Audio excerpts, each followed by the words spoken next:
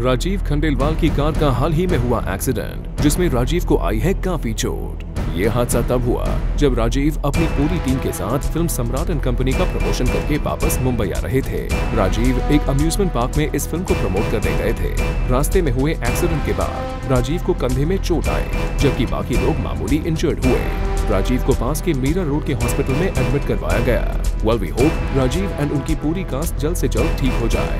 वैसे आपको बता दें कि राजीव जिस इवेंट में गए हुए थे, वहाँ उन्होंने अपनी फ़िल्म के फेलियर को लेकर भी बात की और मीडिया को बताया कि आखिर क्यों नहीं चल पाई उनकी फ़िल्म देखिए, मुझे ऐसा लग रहा है कि अब ये जो फ़िल्म है, ये वर्ड ऑफ़ माउथ पे बहुत डिपेंड करेगी।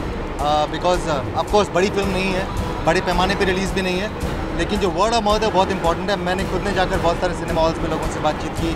मैं ट्रैवल कर रहा हूँ। तो जो वर्ड ऑफ़ माउथ है वो बहुत स्ट्रॉन्ग है, लेकिन अभी भी ऐसा लग रहा है कि अवेयरनेस थोड़ी सी कम है लोगों के बीच में।